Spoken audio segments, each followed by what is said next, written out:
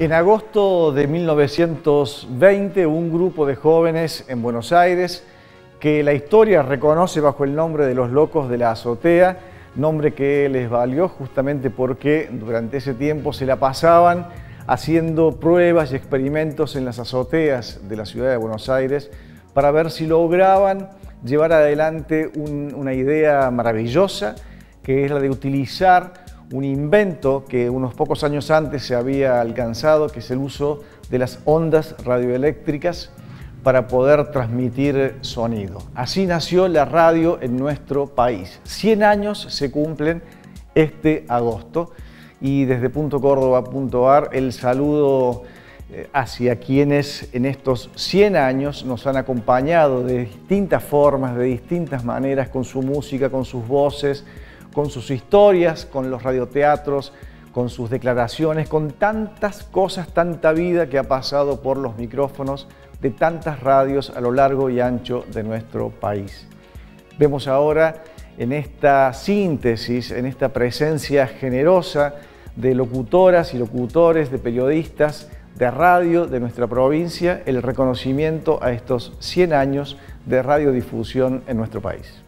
La radio es parte esencial de mi vida. Mi primer trabajo lo tuve en un estudio de radio y sigo haciendo radio. Eh, es el medio con el cual me siento más cómoda ejerciendo mi tarea periodística. Creo que como cronista de, exteriores, eh, quienes ejercemos este rol tenemos una cuota adicional extra de, esa adrenalina que por sí tiene la radio, estando en el lugar de los hechos, en la calle, pudiendo llevarle a la gente el ahora, los hechos que, que suceden en el ahora y creo que no ha perdido esa mística que tanto la caracteriza a pesar de que haya cada vez más plataformas digitales o, nuevos soportes, justamente porque pocos medios generan ese, ese ambiente, ese clímax, esa atmósfera eh, que invita a la reflexión, ya sea desde el estar de acuerdo, desde el disenso, desde múltiples puntos de vista, pero invita nada más y nada menos que eh, a la reflexión sobre la realidad. Y creo que no todos los medios lo pueden generar de esa manera, de esa manera tan linda que tiene la radio?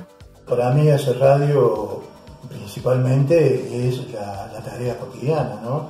el trabajo de todos los días, de este oficio que yo he elegido para ganarme la vida y que lo hago desde hace muchísimo tiempo. ¿no? Hago radio desde hace casi 30 eh, años, eh, todos los días, de lunes a viernes, varios, varias horas, ¿no?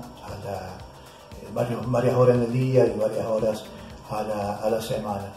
Este, también, bueno, es el, enorme placer de, poder este, bueno, hacer este trabajo cotidiano, como, decía, de poder este, vivir de esto y además poder eh, ejercer esta profesión y pensarla principalmente como un derecho humano, como uno de los principales derechos humanos que tiene que ver con el acceso a la comunicación, en este caso a la radio, de todos y todas y no entenderlo como una mercancía, como un bien de cambio, como se, piensa en los medios hegemónicos, en los medios concentrados. Y por supuesto, trabajar, luchar todos los días para eso y bueno, un enorme placer el poder estar en este espacio y un enorme agradecimiento por la invitación a compartir esta reflexión en los primeros 100 años de la radio. La radio para mí es mi territorio de seguridad, pero también mi tierra firme, pero también mi libertad, el lugar donde me siento yo misma. Eh, para mí lo más hermoso que tiene la radio es la manera de conformar, de generar comunidad.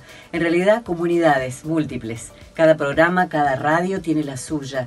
Y yo creo que ese vínculo que se genera entre quien emite y quien está del otro lado, que a su vez es interacción, no es unidireccional, al contrario.